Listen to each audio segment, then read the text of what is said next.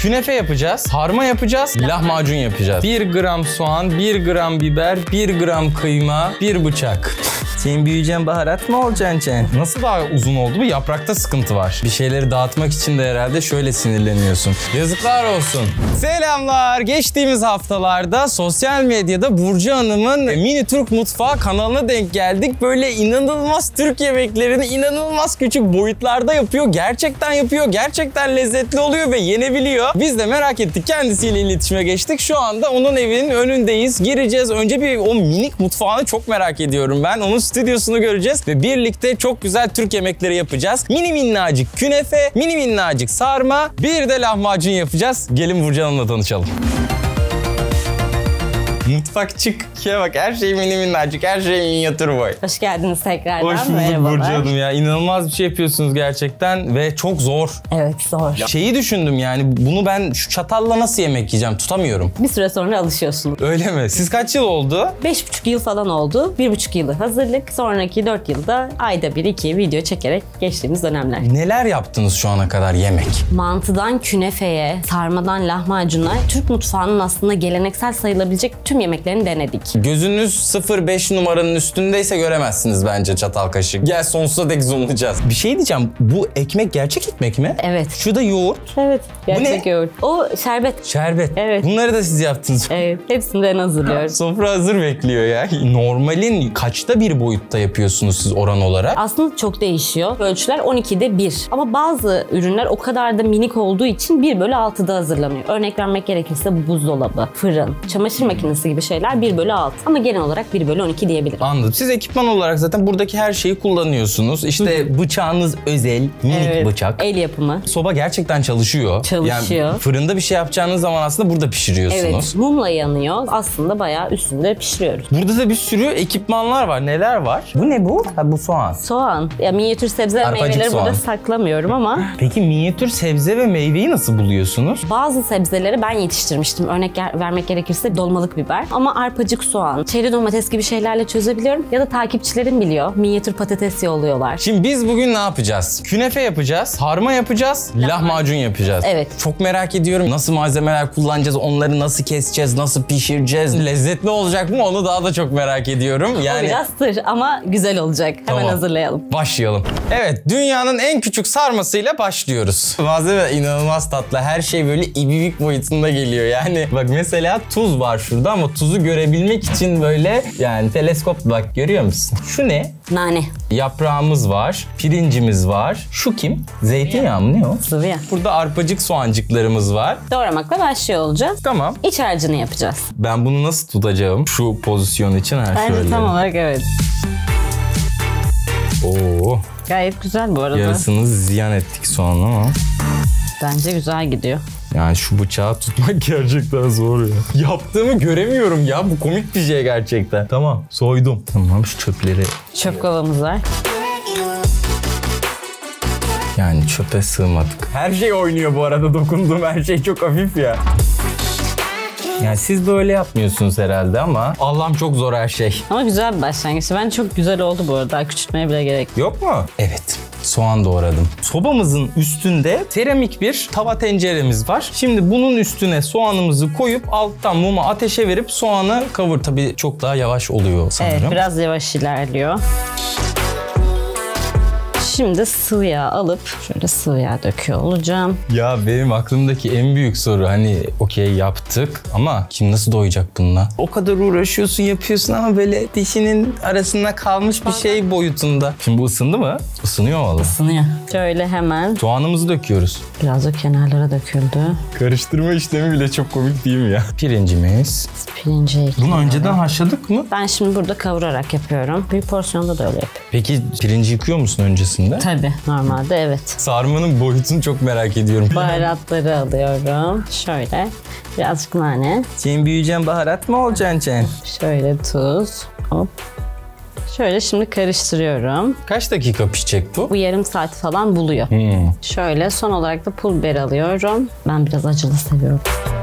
Su ekliyoruz. Evet. Fazla eklememek lazım o yüzden hop yeter. Birazcık şimdi suyunu çekmesini bekliyor olacağız. Şimdi pişirdik iç harcımızı. Hop. Pirincimiz hazır. Aynen. Şuradan da hemen yaprak sarmamızı alalım. Geldik zor kısma. Boyutun ne olması lazım? Bir onda bir hem fikirleşelim. Bu soğandan küçük ve şey olacak boy olarak biraz daha küçük olacak. Şaka yapıyorsun ya. Valla çok ciddiyim. Tutacağımızla. Şöyle. Hop.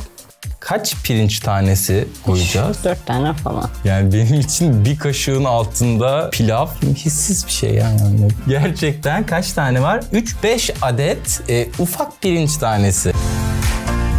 Hop. Şöyle. Hmm, oldu gerçekten. Hakan Bey'e bırakıyorum. ney boyutundayı söyleyemiyorum. Serçe parmağımın bir boğumundan bile küçük yani. Hani Söyle sahneye bırakalım. şimdi 5 tane Çok oldu biliyor çok musun? oldu.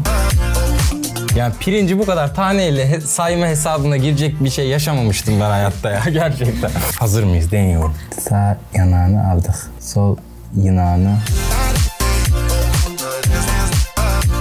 Nasıl daha uzun oldu bu? Yaprakta sıkıntı var. Yaprak büyük ama benimkinden çok daha güzel oldu. Oldu mu? Oldu. Valla. Valla.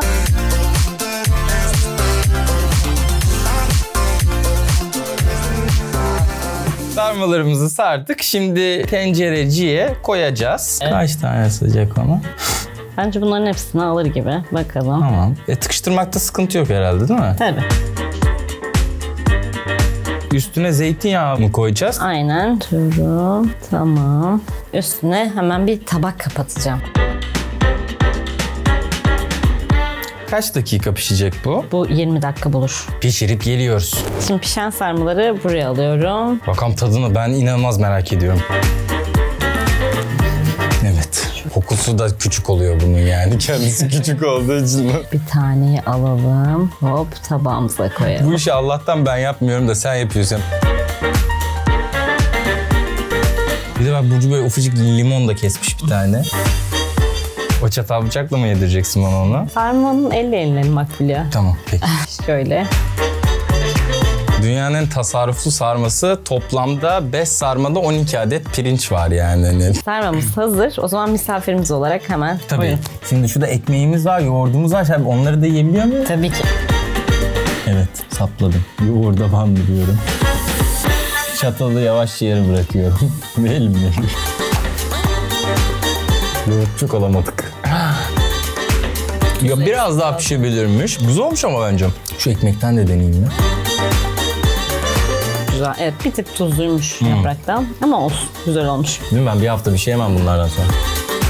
Çok bir şey değişmiyor yedikten önce ve yedikten sonra. Elimize sağlık. Şu kadar sarma yaptık. Daha ne yapalım ya? Ha şerbet var.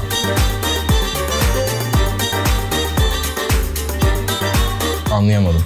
yani. Vişne suyu da halbuki. anlayamıyorum Vişne tabii. şerbeti. Vişne miydi? Yok hiç gelmedi. Vişneydi. Sırada lahmacun var. Ben çok severim. Nasıl yapacağız lahmacunu? Acılı acısız ve mini. Şöyle şuradan bir mayayı alıyorum hemen. Şimdi hamuru yoğuracağız, açacağız, iç harcını yapacağız, üstüne koyacağız, fırına atacağız. Evet. Şöyle. Şimdi de unu koyuyor olacağım. Tamam. Şunu biraz karıştıralım. Bu normalde büyük hamur yoğurduğunda parmağında tortu kalır ya o kadar zaten yani. Tamam. Mayalanmaya bırakıyoruz onu. İç harcını yapana kadar muhtemelen Tamam. mayalanır. Evet malzemelerimizi sayıyorum. 1 gram soğan, 1 gram biber, 1 gram kıyma, 1 bıçak.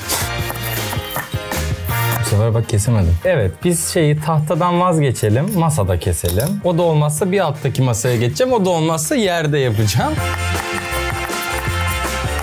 Yeterli mi bu boyu? Bence yeterli. Tamam şimdi bunu kaseye alıyorum. Biberin de herhalde şu kadar soğansa şu kadar biber bence. Aynen öyle. Çok komik abi. Yani normalde bir yemeğe şunu koysan koymasan hiçbir şey tat olarak değişmez yani. Ben anlamam aradaki fark.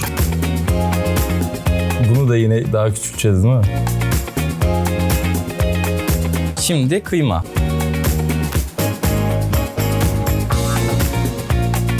Şimdi baharatları atıp Tamam.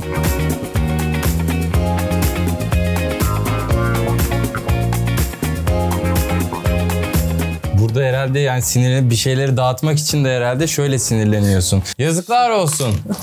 Serçe parmağınla. Evet olmuş. İç harcımızı hazırladık. 45 dakikalık mini minnacık uğraşımızdan sonra şimdi hamuru alacağız parça parça keseceğiz. Oklavayla açacağız. Üstüne iç harcımızı koyacağız fırına vereceğiz. Tamam şimdi bunu keseyim. Bir lahmacun ustası edasıyla dökmedi mi? Şimdi bundan iki tane çıkaracağız değil mi? Evet. Güzel de kokuyor. Evet. Ben çok güzel oldu. Birinci lahmacunumuz hazır. İkinci sizin hocam. Şöyle bu da hazır. Şimdi bunları pişireceğiz. Tepsiye alacağım. Tane tane pişireceğiz. Tepsimiz sadece bir lahmacunlu. Lahmacuncuklarımız hazır. İki tane çıktı böyle. Buyurun efendim önce siz. Gerçekten çok güzel. Kendi Vallahi yaptım mi ya? diye demiyorum.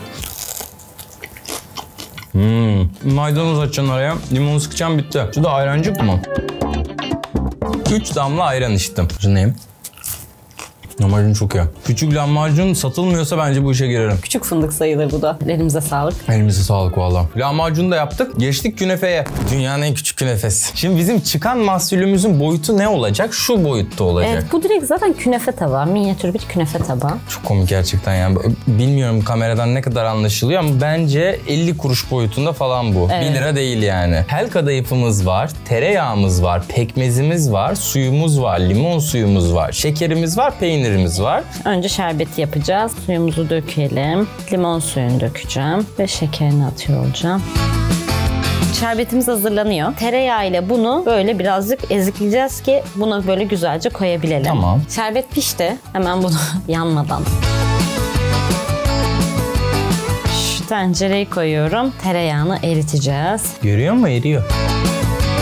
Şimdi tereyağımız eridi. Tereyağını tel kadayıfın üstüne döküyorum. Amaç onun yumuşamasını sağlamak. Künefe tabağımızın dibine tereyağı sürüyoruz yapışmasın diye. Ne kadar? Bu kadar mı? Fazla bile. Şimdi normal künefeler de böyle yapılıyormuş Orkun. Diğer tabakla onu sıkıştırıyormuşuz. Böyle bastırıyorum. evet. Tamam, şimdi peyniri koyacağız. Çok nizami aldı bu arada ya. Ya ben onu alamazdım.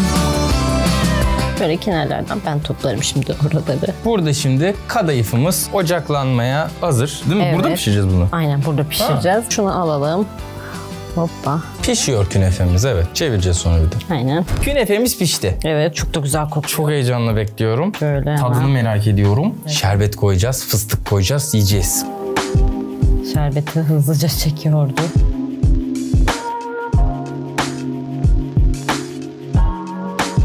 Bence gayet güzel görünüyor. Şimdi Hazır görsel şu çok güzel, koku çok güzel. Nasıl yiyeceğiz bunu? Bıçak, kaşık, çatal. 6 gün sonra görüşürüz. Çatal direkt böyle bence alabiliriz.